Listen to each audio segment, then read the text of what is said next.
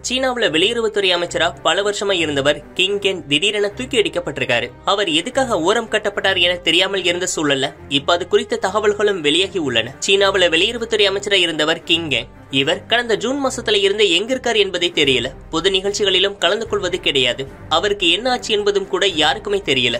இதுக்கிடையே சீனா புதிய வெளியுறவுத்துறை அமைச்சரா வாங்கி என்பவரையும் கூட நியமனம் செஞ்சிருக்காங்க. ஒரு பக்கம் புதிய அமைச்சரை நியமனம் செய்யப்பட்டாலும் கூட இத்தனை காலமா வெளியுறவுத்துறை அமைச்சரா இருந்த கிங்கே எங்க இருக்கார் என்பது யாருக்குமே தெரியல. இவர் கடைசியா கடந்த ஜூன் இருபத்தஞ்சாம் தேதி ரஷ்யா இலங்கை மற்றும் வியட்நாம் நாடுகளின் அதிகாரிகள் கூட நடைபெற்ற கூட்டத்துல கலந்து கொண்டு இருக்காரு. அதன் பின்னால் அவர் எந்த ஒரு பொது நிகழ்ச்சிகளிலும் கலந்து கொள்ளவே இல்லை. அங்க இருக்கக்கூடிய சமூக வலைதளமான வெய்போவ்லையும் யாராவது இது பத்தி கருத்து சொன்னாலும் கூட அந்த கருத்து உடனடியா நீக்கப்பட்டிருக்கு. மேலும் கின்கென் எங்கேன்னு தேடினாலும் கூட நோ ரிசல்ட்ஸ்னு வந்திருக்கு. அந்த அளவுக்கு அவர் குறித்த தகவல்களும் நீக்கப்பட்டு உள்ளன. கின்கெங் சீன அதிபரான ஜி ஜின்பிங் கூட நெருக்கமா இருந்தவர். அப்படி இருக்கும்போது அவருக்கு இப்படி நடைபெற்றது பெரும் குழப்பத்தை ஏற்படுத்துவதாகவும் இருந்துச்சு.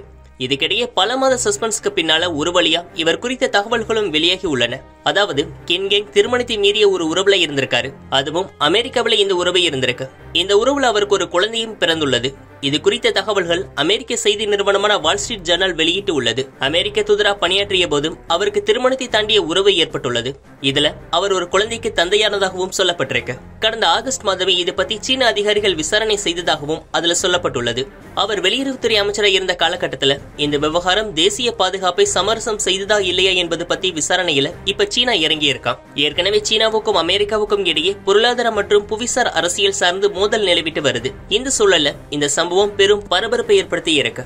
தேசிய பாதுகாப்பு சார்ந்த தகவல்களை அவர் ஷேர் பண்ணியிருக்காரா? அதுல ஏதாவது சமரசம் ஏற்பட்டுள்ளதா என்பது குறித்த விசாரணையிலையும் இப்ப சீனா இறங்கி இருக்கான் அதே நேரம் இது குறித்த கேள்விக்கு இப்ப சீனா வெளியுறவுத்துறை அமைச்சகம் எந்த ஒரு பதிலையும் கொடுக்கல. ஜி ஜின்பிங் தலைமையிலான சீன அரசு எப்போதும் இது போல திருமணத்துக்கு மீறிய உறவுல இருந்த டாப் தலைவர்கள் மற்றும் அதிகாரிகள் மீது கடுமையான நடவடிக்கை எடுத்திருக்கு. இது தேசிய பாதுகாப்பு தொடர்பான விஷயம் என்பதனால இதுல கொஞ்சம் கூடுதல் கவனம் செலுத்துவாங்க. மேலும் இந்த சம்பவம் வெளிச்சத்துக்கு வந்திருக்கக்கூடிய ஒரு சூழல்ல வெளிநாட்டினர் கூட தொடர்புல இருக்கக்கூடிய மத்த முக்கிய தலைவர்கள் மற்றும் அதிகாரிகள் கிட்டையும் இப்ப சீன அரசாங்கம் கவனத்தை திருப்பி இருக்கான்